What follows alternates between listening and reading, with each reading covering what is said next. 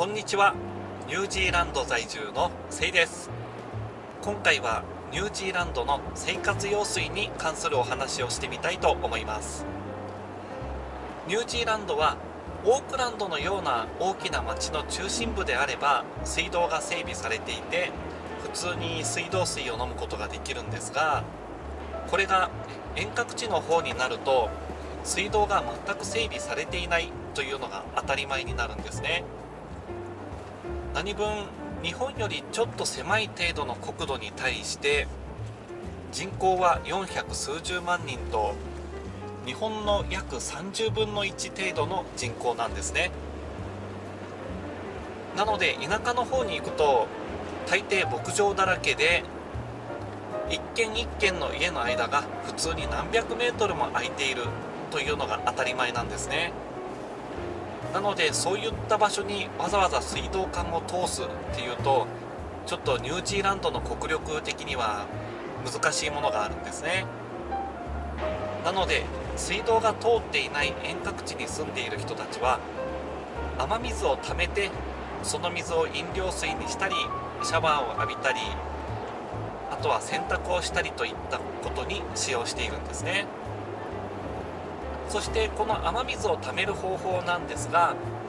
今映像が出ているように家の屋根に降りかかった雨水が雨どいの方に流れていってそしてその雨どいをずっ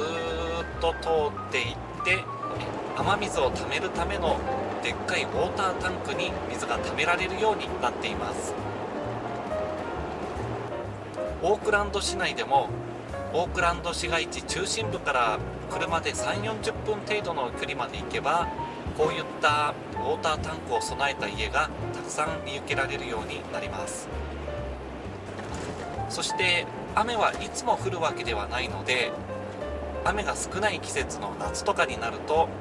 タンクの水が空になるということもよくあります。そういう時はどうするかっていうと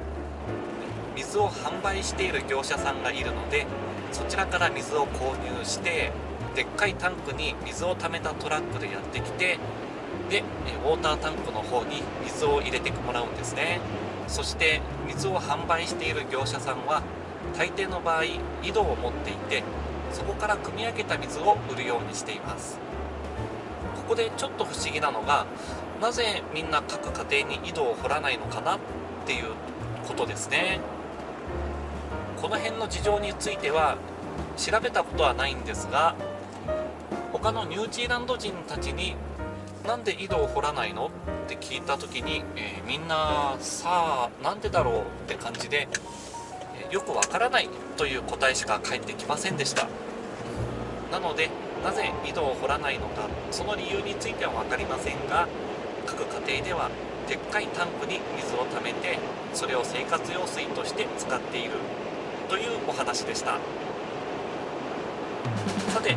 今回の動画は以上で終わりです。日本とは全く異なるニュージーランドの水道事情のお話いかがでしたでしょうか？